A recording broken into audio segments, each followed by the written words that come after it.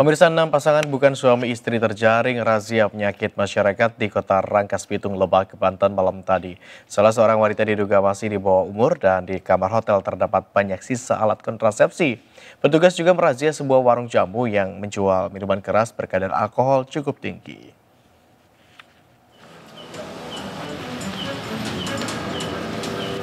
Sejumlah pasangan mesum ini diamankan petugas saat berada di dalam kamar hotel di Lebak, Banten. Tak hanya itu, dalam rahasia cipta kondisi petugas juga menemukan wanita di bawah umur bersama lelaki hidung belang. Saat dimintai keterangan berbagai macam alasan dilontarkan dari para pasangan mesum tersebut. Mulai hanya mengantarkan saudara, menikah siri, hingga mengaku baru sampai jenguk saudara di kamar hotel. Meski berdalih petugas tetap membawakan enam pasangan tersebut ke Mapolsek Lebak Banten. Mereka diperiksa lantaran tidak dapat membuktikan KTP suami istri atau tidak memiliki buku nikah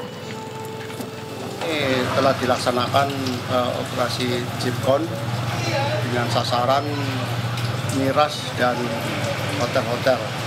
Karena disinyalir di hotel pun masih ada, saya tidak bisa menyebutkan itu oknum saja di luar nikah.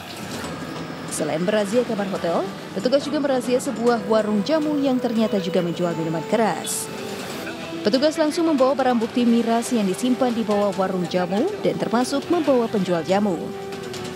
Razia kali ini merupakan permintaan warga Lebak yang mengaku resah dengan maraknya prostitusi terselubung dan maraknya peredaran minuman keras. Dari Lebak, Banten, Iskandar Nasution, iNews melaporkan.